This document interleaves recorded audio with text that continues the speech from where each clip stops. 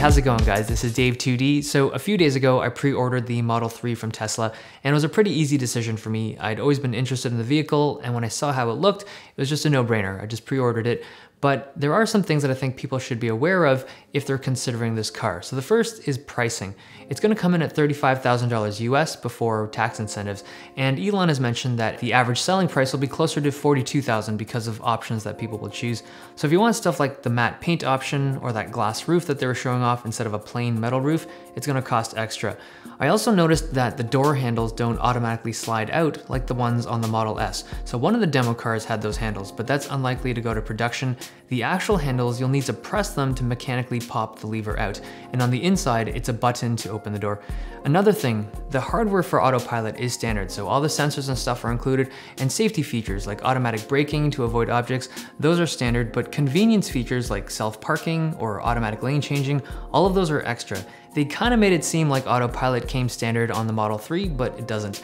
The other thing is size. So this is not a big car. It's around 20% smaller than the Model S. And when you compare photos and do some rough scaling, I think it'll be around 15 inches shorter and a few inches lower and narrower than the Model S. Similar in size to a Mazda 3 actually, which is a pretty small car. But because of how they shifted things around in the cabin and the way the roof panel works, it's quite roomy in there.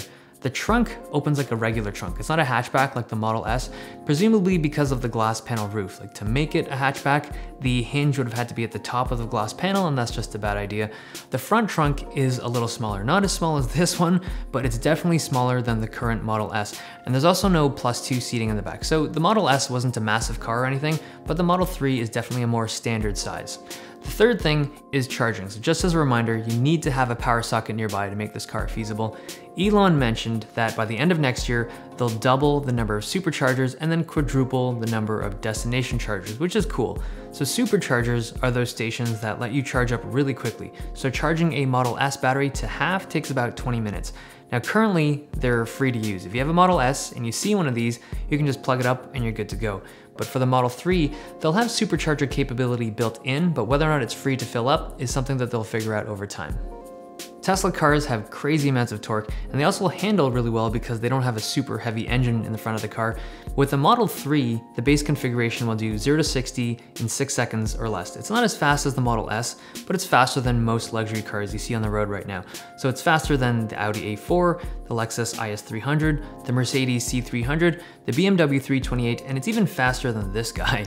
So the base model is a rear wheel drive. It'll have a range of 215 EPA miles, and it also comes in an all-wheel drive dual motor option for less than $5,000. So that's cheaper or potentially cheaper than the Model S all-wheel drive option. If you've been in a Model S, you've seen that massive 17 inch screen that fits in the center consoles. On the Model 3, it's a smaller screen at 15 inches, but it's in a more prominent horizontal position. So this positioning is final. It's gonna be a landscape screen. With the Model S screen, there were controls that were a little tough to reach on the center console. Like you'd have to lean forward to hit it.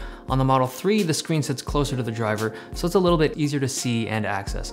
There's also no instrument panel. So the second screen on the Model S with the speedometer and stuff is gone, and the info is now displayed on that 15 inch screen. You end up with a super clean and minimal dash without that hump. It's a little untraditional. I think that some people will find it weird, but Elon mentioned that they're still tweaking the steering controls. In fact, they're still tweaking a bunch of stuff like the door handle shape, the front nose cone even, everything's kind of in the works. But I really like the car. I love what the car represents. So yeah, I actually made this video and delayed a laptop video just to share my thoughts on this with you guys. Hope you guys enjoyed it. Thumbs if you liked it, subs if you loved it, and if any of you guys are getting a Model 3 yourselves, I'd love to hear about it below. It's been nice. See you guys next time.